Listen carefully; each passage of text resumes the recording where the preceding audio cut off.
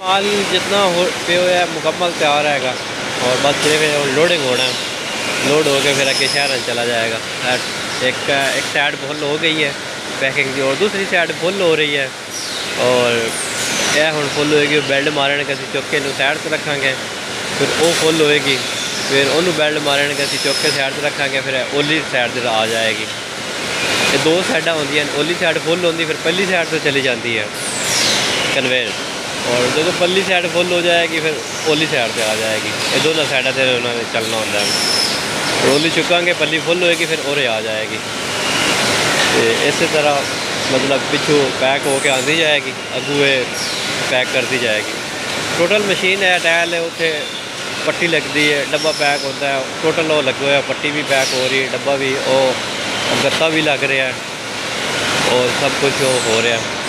इतने टायल मुकम्मल तैयार हो के बाहर निकल आती पॉलिश का खाता पहली साइड से अगर तुम दसिया कि किलन तू माल गर्म टायल हो के बाहर निकलती है निकल के तो उत्थे गर्म होती है फिर ठंडी कर दे ठंडी करके फिर पल्ली साइड रहे वो पॉलिश का खाता तो नहीं दिखाया वो भी इंशाल्लाह दिखावे उधर पॉलिश होती पॉलिश हो के तो फिर इधर पैकिंग वाली साइड पर आती है ये पैकिंग मशीन है और पॉलिश वाली मशीन हो पल्ली साइड पर लगी हुई हो पर वो टैला पॉलिश हो के और जा रही वापसी से आके इधर पैक हो होती ने। वो साथा पल्ली साइड इधर आएगा।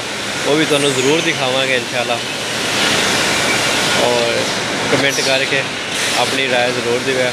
और वीडियो लाइक और फॉलो कर देता करो। शुक्रिया।